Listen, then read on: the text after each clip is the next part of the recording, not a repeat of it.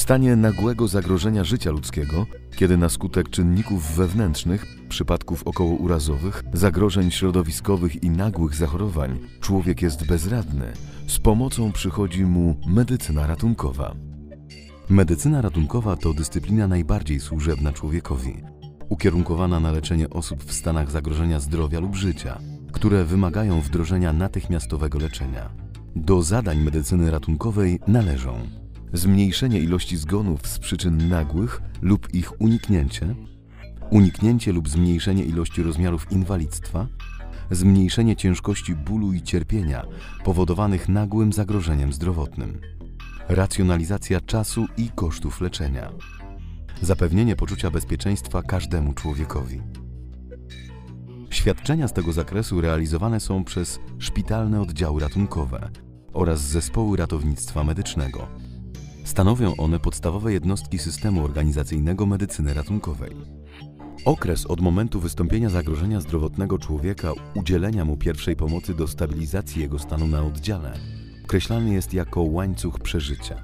Czas ten nakłada się na tak zwaną złotą godzinę, czyli okres, w którym maleją gwałtownie szanse człowieka na przeżycie, o ile nie zaczną mu być udzielane specjalistyczne świadczenia zdrowotne.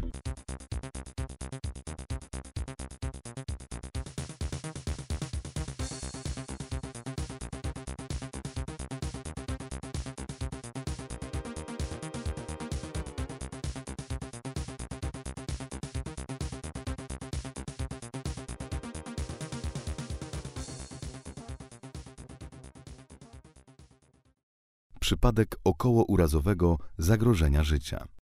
W wielu zdarzeniach drogowych dochodzi do tragicznych w skutkach wypadków, w których występują ofiary śmiertelne i osoby ciężko ranne z zagrożeniem życia.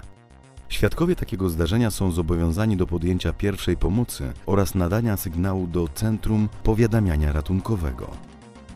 Sytuacji, kiedy dojazd do pacjenta bądź grupy poszkodowanych osób jest utrudniony lub dystans między miejscem zdarzenia a najbliższą podstacją ambulansów ratunkowych jest zbyt odległy, dyspozytor Centrum Powiadamiania Ratunkowego kieruje na miejsce zdarzenia jednostkę lotniczego pogotowia ratunkowego. Umożliwia ona podjęcie rannego w terenie i szybki, kwalifikowany transport do najbliższych, właściwych warunków szpitalnych. Przypadku okołourazowym zespół wyjazdowy oprócz medycznych czynności ratunkowych przygotowuje rannego do transportu, zwracając szczególną uwagę na możliwy uraz kręgosłupa i inne obrażenia ciała.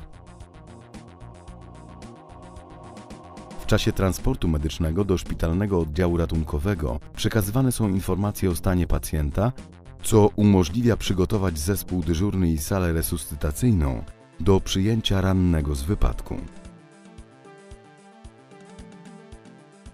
Po przywiezieniu pacjenta do oddziału przekazywany jest on do sali resuscytacyjnej, gdzie podejmuje się czynności resuscytacji i stabilizacji funkcji życiowych. Następuje okres przygotowania do niezbędnego zabiegu chirurgicznego.